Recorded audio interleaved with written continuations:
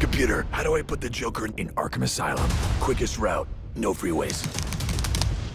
Computer, do you hear me? Hello, Master Bruce. I have just taken away your computer privileges. Gasp! Sir, it's time for you to stop this unhealthy behavior. You can't spend the rest of your life alone, dressed in black, and staying up all night. Good night, Alfred. Sir, it's morning. You need to take responsibility for your life, and it starts by raising your son. I'm sorry.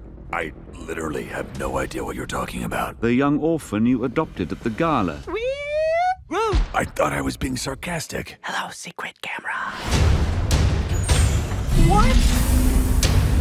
It's the Batcave! Oh my gosh, oh my gosh, oh my gosh, oh my gosh, oh my gosh, oh my gosh, oh my gosh, oh my oh.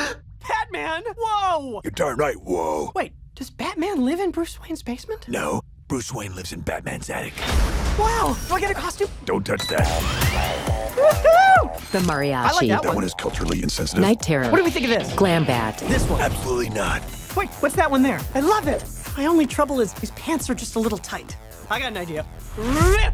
It's better. Now I'm free. Now I'm moving. Come on, Batman. Let's get grooving. I can only look you in the eyes right now.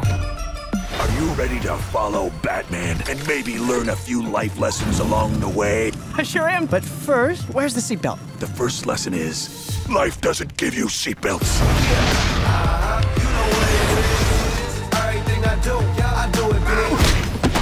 Oh, Alfred, I have incredible reflexes.